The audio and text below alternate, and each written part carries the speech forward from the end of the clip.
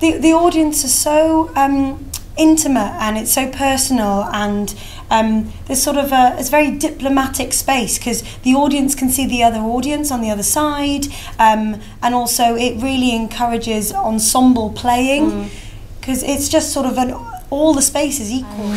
Everyone on the stage has um, equal focus and A responsibility for the story. the audience are really close and so you can interact directly with them.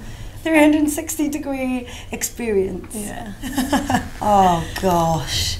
I mean, I think probably do you even know who you are? Like, can you tell yourselves apart?